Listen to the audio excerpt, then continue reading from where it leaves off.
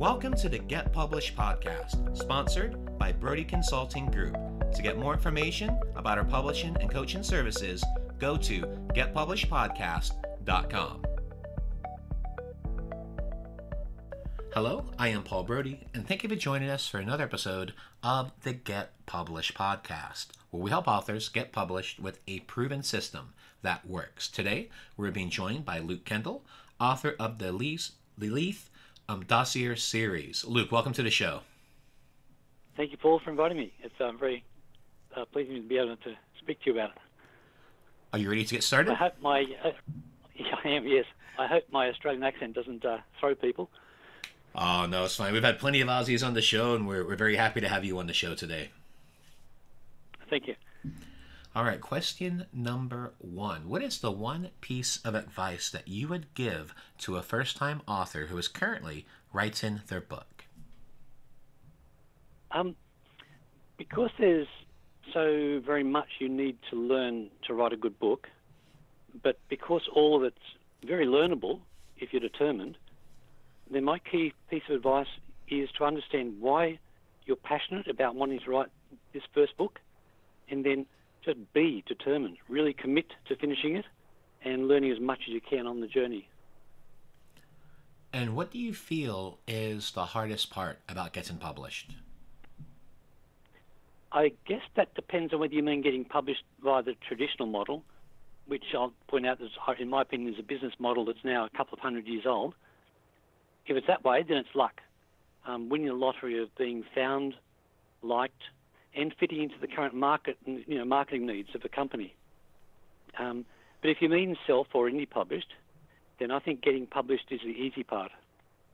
In that case, I think the hardest part is being discovered by the readers who'd actually enjoy your book. I think there are now over a million new books published per year worldwide, and over half of those are in English. So just being noticed, I think, for the indie published person is very hard.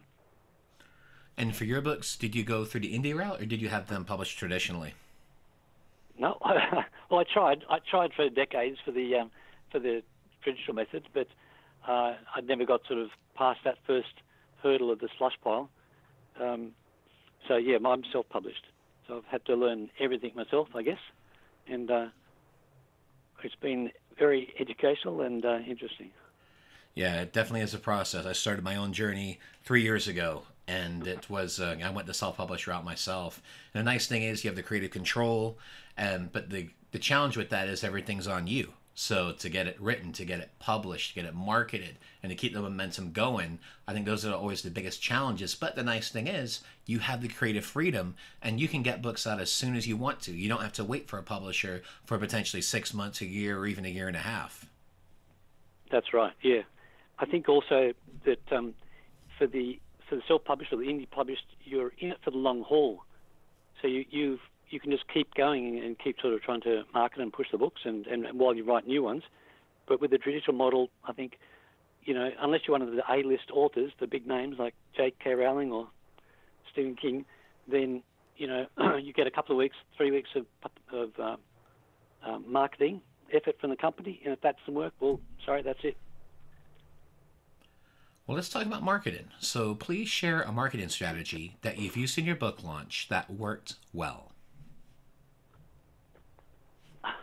Well, I'm gonna. I have to confess that, that marketing is definitely my my uh, weak point. It's I'm terrible at it, and I'm right now I'm finishing up work on my fourth book, and I promised myself that after this I'll be getting stuck into learning as much as I can about marketing. And there's a lot to learn. There's probably as much to learn on this side as there is about the actual writing of the book and publishing it.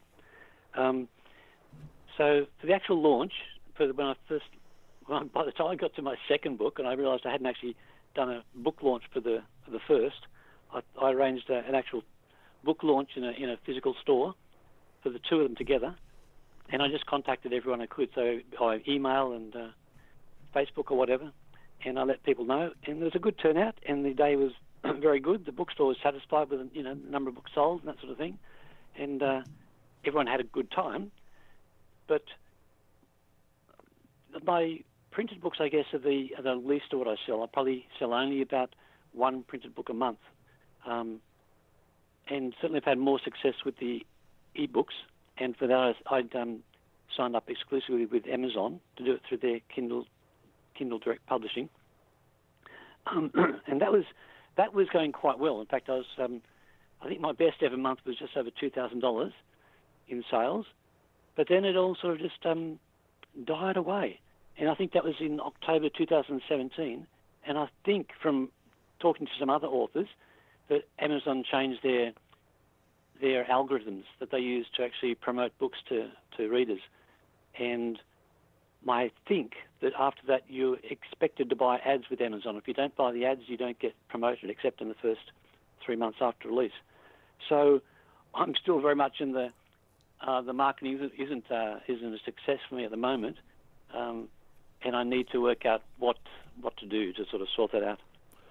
Well, and you bring up a great point, Luke, because that, that's exactly what happened. Amazon has really pushed AMS, which is Amazon Marketing Services, and they're basically want authors to pay for Amazon, the company actually is distributing your book, to promote it. And what happened was I was in the same situation where I saw a downturn in sales last summer, so summer 2017 and fortunately a fellow author was starting up a amazon marketing services um, little side business where he was actually going to create all, all the ads so i actually went with him and for his service it's like 20% of your profits which is which is fair i could i could deal with that but the nice thing is i have 13 books out so he was able to go in and do ads for all of them but the other thing is you have to do ads every month because it's very much with how the Amazon algorithm works, even with marketing, um, with using their services.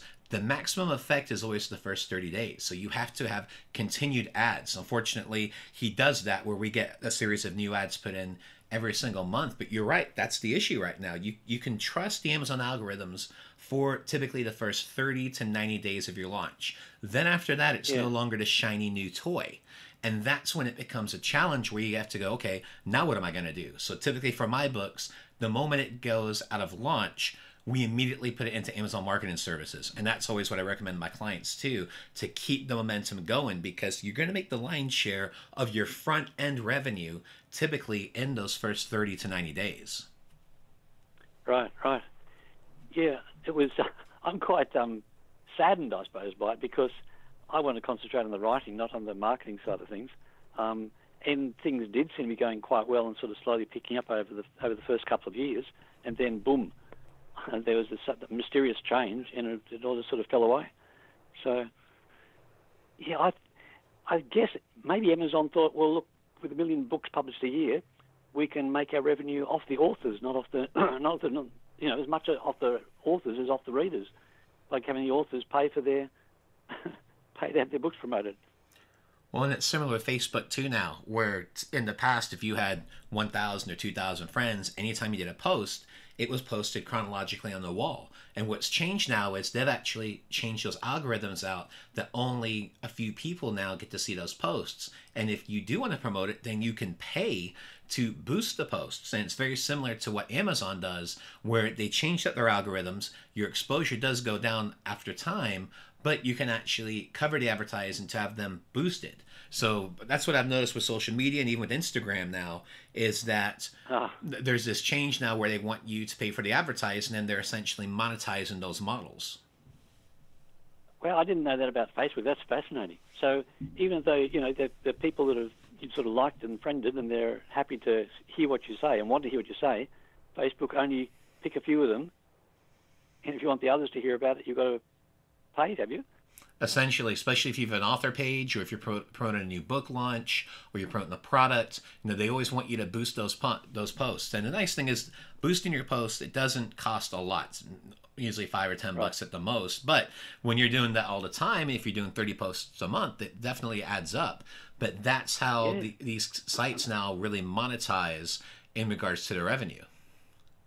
Ah, thank you. That's that's very interesting to know. That's worthwhile knowing for sure. Yeah, that's one of the nice things about publishing is that you you always got to watch the trends because it's just like education or corporate world or anything else. The biggest consistent that you have is change, and you have to keep up with those because if you don't, I always refer to the book as falling into the Amazon rainforest because you're absolutely right. There's millions of books that come out every year, and it's really easy to get lost in that rainforest if you don't have a solid marketing plan. I think you're right. I think you're right. Well, let's talk about your favorite book. So, what is your favorite book, and what was the number one thing that you learned from it? That's I think that's a super hard question. I have a lot of books I love, um, pretty much equally by a lot of different authors. So, force me to, to pick a, a first among equals is, is kind of cruel. Um, but but I think if I had to back when we're back to the wall, I think I'd nominate the um, the fantasy novel um, from Stephen R. Donaldson. The One Tree. It's called from the Second Chronicles of Thomas Covenant, and it's because of the single scene in that where the the main character's in this inescapable trap. You think they're, they're doomed, and he's given a tiny opportunity, and he speaks a single word, and that will probably doom him, but but bring the trap crashing down, and that that was just so powerful and unexpected. And then the way he sort of the author sort of wrote about it, and all the all the action unfolded was so cinematic. It was like a real fist pumping, you know, in the air sort of moment for me. And I think maybe what I learned from that is that it's possible to make a reader feel so strongly, feel like jumping up and shouting yes, you know, with their blood singing. I guess that's what I, I learned from that. And for a final question, what is your favorite quote and why? Um, I think it's it's simply uh, treat others how you would like to be treated. I think that's a truth that could form the foundations for solving most of the world's problems. Not all of them, but a lot of them. The world would be a lot happier place if we all just sort of treated other people like we want to be treated. Absolutely. I guess I guess there's a there's the percentage of people for that for which that wouldn't work that are sort of trying to to just um, very self-centered and uh, self-interested. And maybe maybe for those people you don't treat them so kindly, but uh, for the rest, the, the vast majority, just treat them how you'd like to be treated. Absolutely. I, I, am a firm believer in karma. What goes around comes around. You do good, you help others, it's going to come back in a good way. And if you don't, then it's going to come back in a whole different way. Absolutely. And in, I found in the um, in the in the author sort of role job that people are really generally super supportive, and you know they'll go out of their way to help you.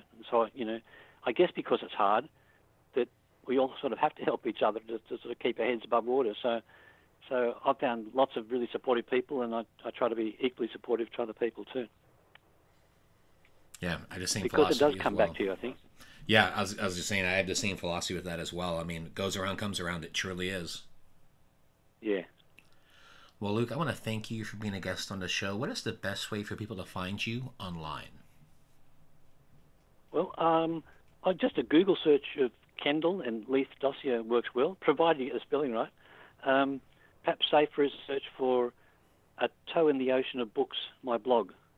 Um, or just search LJ Kendall on Amazon or Twitter. I, I try to stay visible. Well, Luke... not uh, not hidden in my garret. well, Luke, I want to thank you once again for being on the show, and I wish you all the best in your author journey ahead.